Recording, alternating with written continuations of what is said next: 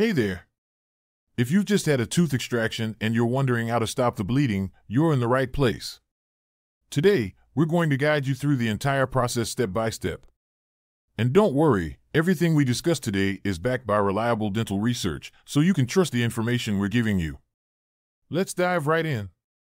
But first, what are the things you'll need to complete this task? For the full list and where to get them, check the description and pinned comment below. Now that you have all your tools and materials ready, let's get into it. Get rid of it. 1. Use a gauze pad. First up, gently place a piece of sterile gauze over the extraction site. Now, bite down gently but firmly for about 30 minutes. According to a study conducted by the American Dental Association, applying pressure with gauze can significantly help in clot formation and stop the bleeding. 2. Replace the gauze if necessary. If you notice the gauze is soaked with blood, it's essential to replace it with a fresh one. Remember, always handle the gauze with clean hands. 3. Apply a cold compress. A cold compress or ice pack can be a lifesaver. Place it outside your mouth on the affected side. This will not only help in stopping the bleeding but also reduce any swelling or pain. A 2018 study from the Journal of Oral and Maxillofacial Surgery found that cold compresses reduce bleeding after dental surgeries.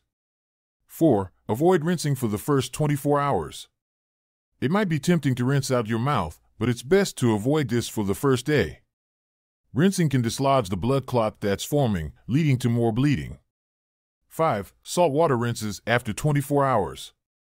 After the first 24 hours, you can start gentle rinsing with a warm saltwater solution. It can help in cleaning the area and reducing the risk of infection. In fact, the Journal of Oral Health and Dental Management published a study in 2016 highlighting the benefits of saltwater rinses after tooth extractions. 6. Take pain relievers as advised. If you're experiencing pain, consider taking over the counter pain relievers. But always consult with your dentist first. They'll guide you on what's safe and effective for you. 7. Things to avoid. There are a few key things you should avoid after an extraction. Stay away from hot foods and drinks for a few hours.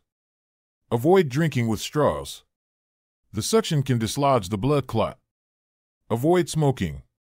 It can delay the healing process and increase the risk of complications. We hope this guide helps you manage and stop the bleeding after your tooth extraction. Remember, always follow your dentist's postoperative instructions and reach out to them if you have any concerns. If you found this video helpful, please hit that subscribe button, share it with your friends, and leave us a comment below. Thanks for watching.